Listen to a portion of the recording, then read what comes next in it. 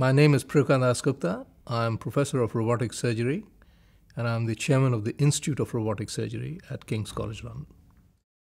I think Versius will change the way surgeons practice. I think uh, there's a high chance it will democratize surgery because it'll be cheaper. It'll bring the cost of other models down. It will allow multidisciplinary surgery. It'll allow better access. Today, only about 5 to 10 percent of operations worldwide are robotic. Versius has the potential to change that. I think it needs to be available to a larger group of surgeons and their patients. So I think this is very exciting in a new field. At last, we have a competitor entering the market. So I congratulate you on having it. And what I particularly like is a return to the open console.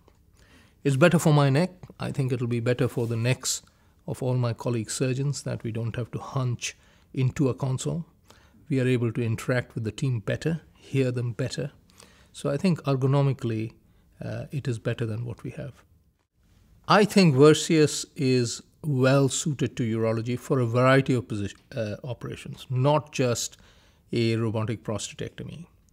The instruments are designed in a way where they can be used in the pelvis or for other urological organs such as the kidneys.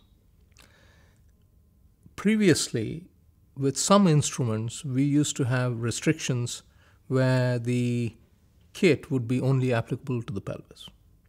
Versius, I think, with the way you dock the machine, the way you can position the arms at different angles, would make life easier for the surgeon and the assistants. So, urology, I think, very exciting. Robotic prostatectomy will be one of the major procedures, I hope, for Versius, just like for other robots.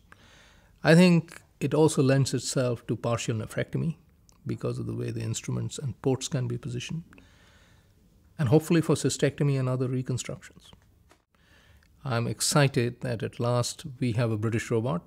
As you know, in my own lab at King's, we have designed and developed a number of robotic tools, but they haven't yet come to market. So, am I excited that CMR is the first British company uh, to bring a credible robot to market? I know there have been others, other robotic tools, but a full fledged machine, of course I am.